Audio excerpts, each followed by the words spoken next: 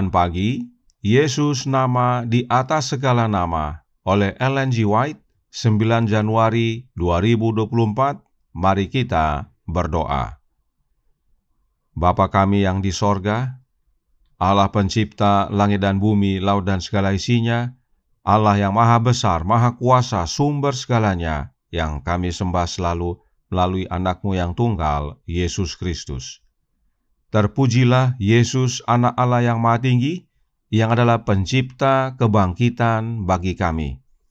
Pada pagi hari ini kami bersyukur boleh bangun dan berbakti dan sebagaimana membaca dan mendengarkan nasihat firman-Mu, kiranya ini menjadi pembaharuan dan sukacita bagi kami, sebab barang siapa memiliki anak, ia memiliki hidup. Beserta kami sepanjang perbaktian ini kehendak-Mu yang jadi, Ampun kami akan dosa dan salah, karena kami berdoa hanya dalam nama anak Allah yang tunggal, Yesus Kristus, yang adalah Tuhan dan Juru Selamat kami. Amin. Renungan hari ini akan dibacakan oleh Ibu Oktolina Siregar. Kepada Ibu Lina, kami persilahkan. Terima kasih. Selamat pagi Bapak dan Ibu, saudara-saudari yang terkasih di dalam nama Tuhan kita Yesus Kristus. Bacaan renungan pagi kita pada hari ini tanggal 9 Januari tahun 2024 berjudul Pencipta Kebangkitan. Ayat inti terdapat di dalam Yohanes 11 ayat 25 firman Tuhan. Jawab Yesus, Akulah kebangkitan dan hidup. Barang siapa percaya kepadaku, ia akan hidup walaupun ia sudah mati.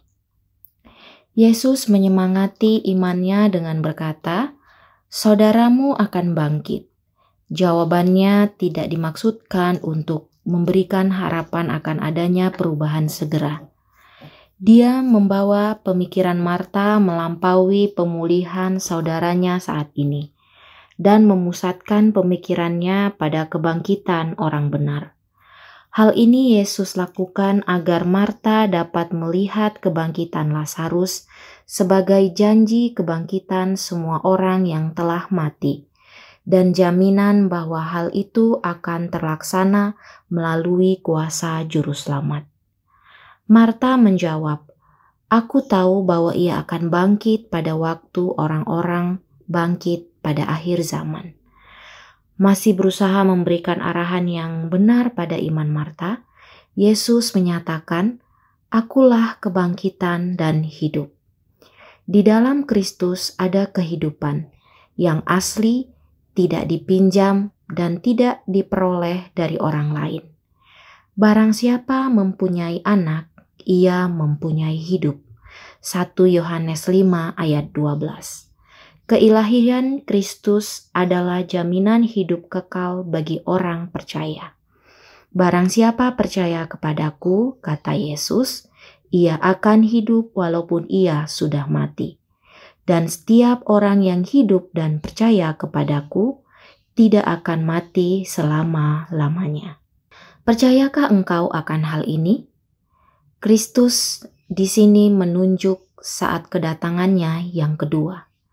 Kemudian orang-orang benar yang telah mati akan dibangkitkan dengan tidak dapat binasa, dan orang-orang benar yang masih hidup akan diangkat ke surga tanpa mengalami kematian.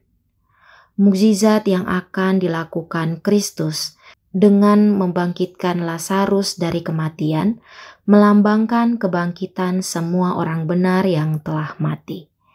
Melalui perkataan dan perbuatannya, dia menyatakan dirinya sebagai pencipta kebangkitan. Dia yang akan segera mati di kayu salib berdiri dengan kunci kematian, sang penakluk kubur dan menegaskan hak dan kuasanya untuk memberikan kehidupan kekal. Terhadap kata-kata juru selamat, percayakah engkau? Marta menjawab, "Ya, Tuhan." Aku percaya bahwa Engkau adalah Mesias, Anak Allah, Dia yang akan datang ke dalam dunia. Marta tidak sepenuhnya memahami makna kata-kata yang diucapkan oleh Kristus, namun dia mengakui imannya pada keilahiannya dan keyakinannya bahwa Kristus mampu melakukan apa pun yang Dia kehendaki. The Desire of Ages halaman 530. Demikianlah bacaan renungan pagi kita pada hari ini. Terima kasih, Tuhan Yesus memberkati. Terima kasih atas penata layanan Ibu Lina. Tuhan Yesus memberkati. Selamat pagi saudaraku dalam Tuhan. Ada satu kebenaran yang tidak pernah dijelaskan kepada umat gereja Advent yang sekarang ini Kebenaran ini terdapat dalam buku Kerinduan Segala Zaman atau dalam bahasa Inggris The Desire of Ages. Mari kita baca The Desire of Ages bab 1 halaman 21 paragraf 2 yang berbunyi Segala sesuatu diterima Kristus dari Allah, tetapi ia menerima untuk kemudian memberi. Demikianlah di istana sorga dalam pelayanannya kepada semua makhluk melalui anak yang kekasih, hidup Bapa mengalir kepada semuanya. Melalui anak, hidup tersebut kembali pula dalam rupa puji-pujian dan pelayanan gembira, gelombang kasih yang meluap-luap kepada sumber besar dari semuanya. Dengan demikian, melalui Kristus, lengkaplah peredaran segala kebajikan yang menyatakan karakter pemberi yang agung yang mana ialah hukum hidup. Bagi yang mempunyai buku Alfa dan Omega jilid 5 dapat membacanya dalam bab 1 halaman 15 paragraf 2. Jadi, Nyonya White, hamba Allah, dengan jelas menuliskan hidup Bapa mengalir kepada semuanya melalui anaknya. Bapa adalah sumber besar dari semuanya.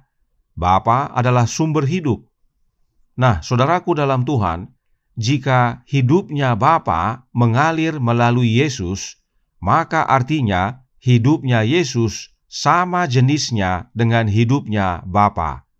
Hidup Bapa dan hidup anak adalah sama. Ini dijelaskan dalam bab 1 dalam buku Kerinduan Segala Zaman. Nah, dalam bab 58 dari buku yang sama, yaitu buku Kerinduan Segala Zaman atau The Desire of Ages, Nyonya White menuliskan yang berikut ini dalam halaman 530 paragraf 3 yang berbunyi, Dalam Kristus adalah hidup yang asli, tidak dipinjam, tidak diperoleh dari orang lain. Kutipan ini bisa saudara baca dalam Alfa dan Omega jilid 6 bab 58 halaman 149 paragraf 4. Perhatikan White tulis, dalam Kristus adalah hidup yang asli. Lalu ingat tadi dalam bab 1 Nyonya White menuliskan bahwa hidup Bapa mengalir melalui anaknya. Maka artinya hidup Bapa adalah hidup yang asli, tidak dipinjam, tidak diperoleh dari orang lain. Sebab hidup yang dari Bapa itulah yang ada di dalam Yesus. Hidupnya Bapa dan hidupnya anak adalah sama, yaitu hidup yang asli, tidak dipinjam, tidak diperoleh dari orang lain. Untuk membantu, berikut bagannya. Dalam bab 1 dikatakan bahwa hidup Bapa mengalir melalui anaknya kepada semuanya. Kemudian dalam bab 58 dikatakan, dalam Kristus hidup yang asli tidak dipinjam, tidak diperoleh dari orang lain. Maka artinya, hidup yang di dalam Kristus tersebut adalah hidup yang dari Bapa. Sebab hidup Bapa mengalir melalui anaknya. Karenanya, hidup Bapa adalah hidup yang asli, tidak dipinjam, tidak diperoleh dari orang lain. Dan hidup seperti itu ada di dalam Yesus. Inilah cara mempelajari roh nubuat yang benar. Kutipan yang berkata, dalam Kristus hidup yang asli tidak dipinjam, tidak diperoleh dari orang lain, bukanlah bukti trinitas, tetapi malah membuktikan bahwa hidup Bapa mengalir melalui anaknya, dan hidup tersebut dapat menjadi bagian kita melalui Yesus. Itu sebabnya Yesus disebut pencipta kebangkitan. Yesus berkata dalam Yohanes 11 ayat 25 yang berbunyi, Jawab Yesus, Akulah kebangkitan dan hidup, barang siapa percaya kepadaku, ia akan hidup, walaupun ia sudah mati. Dan tentang ayat ini, Roh Nubuat berkata dalam Heaven, halaman 37 paragraf 2. Bagi orang percaya, Kristus adalah kebangkitan dan hidup. Di dalam juru selamat kita, kehidupan yang hilang karena dosa dipulihkan. Karena dia mempunyai kehidupan di dalam dirinya untuk menghidupkan siapa yang dia kehendaki. Dia diberi hak untuk memberikan keabadian. Saudaraku dalam Tuhan, Yesus diberi hak atau diberikan otoritas untuk memberikan kehidupan kekal. Sebab Allah Bapa telah berikan segala kuasa kepadanya dan bahwa hidup Bapa yang asli tidak dipinjam, tidak diperoleh dari orang lain ada di dalam Yesus. Sebab hidup Bapa mengalir melalui Yesus. Itu sebabnya renungan hari ini berkata, Barang siapa percaya kepadaku, kata Yesus, ia akan hidup walaupun ia sudah mati. Dan setiap orang yang hidup dan percaya kepadaku tidak akan mati selama-lamanya. Percayakah kita akan hal ini? Untuk menolong, Roh Nubuat berkata dalam Selected Messages buku pertama, halaman 114 paragraf 1. Setelah Kristus bangkit dari kematian, dia menyatakan di atas kubur Akulah kebangkitan dan hidup. Kristus, juru selamat yang telah bangkit, adalah hidup kita. Ketika Kristus menjadi hayat jiwa, perubahannya terasa, namun bahasa tidak dapat menggambarkannya. Segala tuntutan atas pengetahuan, pengaruh, kekuasaan tidak ada gunanya tanpa keharuman karakter Kristus. Kristus harus menjadi kehidupan jiwa seperti darah adalah kehidupan tubuh. Saudaraku dalam Tuhan, bagi orang yang percaya, kematian adalah hal kecil, sebab Yesus telah kalahkan setan dan kerajaan mautnya. Barang siapa yang percaya kepada Yesus akan menerima kebangkitan yang sama dengan kebangkitan Yesus. Oleh karenanya, penting sekali bagi kita memiliki Kristus sebagai hidup kita agar jaminan kebangkitan menjadi bagian kita. Sebab roh nubuat berkata dalam Selected Messages buku pertama halaman 296 paragraf 2 atau dalam Science of the Times tanggal 8 April tahun 1897 paragraf 2 yang berkata, Di dalam dia adalah hidup yang asli, tidak dipinjam, tidak diperoleh dari orang lain. Dia di sini adalah Yesus. Hidup seperti ini bukan bagian manusia. Manusia dapat memiliki hidup itu hanya melalui Kristus. Manusia tidak dapat mendapatkannya sebagai upah.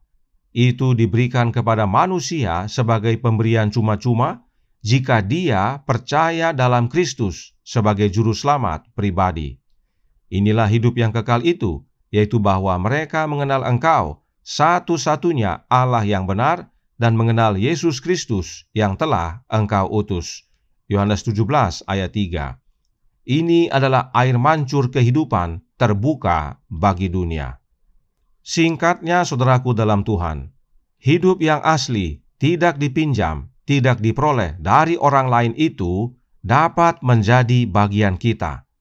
Sebab itulah istilah lain untuk hidup yang kekal. Dan kita dapat memiliki hidup yang asli, tidak dipinjam, tidak diperoleh dari orang lain, hanya melalui Kristus. Sebab ingat, hidup yang seperti itu adalah hidupnya Bapa dan hidup Bapa mengalir melalui anaknya kepada kita. Karenanya, sebagaimana Marta, percayalah bahwa Kristuslah pencipta kebangkitan, bahwa Kristuslah kebangkitan dan hidup. Tuhan memberkati, saya bawa dalam nama Yesus. Amin. Mari kita berdoa. Bapa kami yang di sorga, Allah pencipta langit dan bumi, laut dan segala isinya, Allah yang maha besar, maha kuasa, sumber segalanya, yang kami sembah selalu melalui anakmu yang tunggal, Yesus Kristus. Terima kasih atas kebenaran vital yang engkau nyatakan pagi hari ini, yang tidak diajarkan dalam gereja Advent yang sekarang ini, bahwa hidup Allah Bapa mengalir kepada kami semua melalui anaknya dan karena hidup Bapa mengalir melalui anak, maka hidup dalam anak adalah hidup yang sama yang dimiliki oleh Bapa, yaitu hidup yang asli, tidak dipinjam, dan tidak diperoleh dari orang lain. Dan hidup seperti itu dapat menjadi bagian kami melalui Yesus Kristus, bila mana kami percaya dialah juru selamat pribadi kami. Karenanya, tolong kami ya Bapa, Curahkan roh anakmu dalam hati ini, sebab hanya oleh kehadiran roh Kristus dalam hidup kami, itulah wujud hidup Yesus menjadi bagian kami. Dan bila mana hidup Yesus, yang adalah hidup yang asli, tidak dipinjam, tidak diperoleh dari orang lain, menjadi bagian kami, itulah hidup yang kekal itu. Dan bila mana Yesus datang kedua kali, kami semua boleh masuk dalam kerajaan sorga beserta kami sepanjang hari ini kehendakmu yang jadi, ampun kami akan dosa dan salah, karena kami berdoa hanya dalam nama anak Allah yang tunggal, Yesus Kristus, yang adalah Tuhan dan Juru Selamat kami. Amin.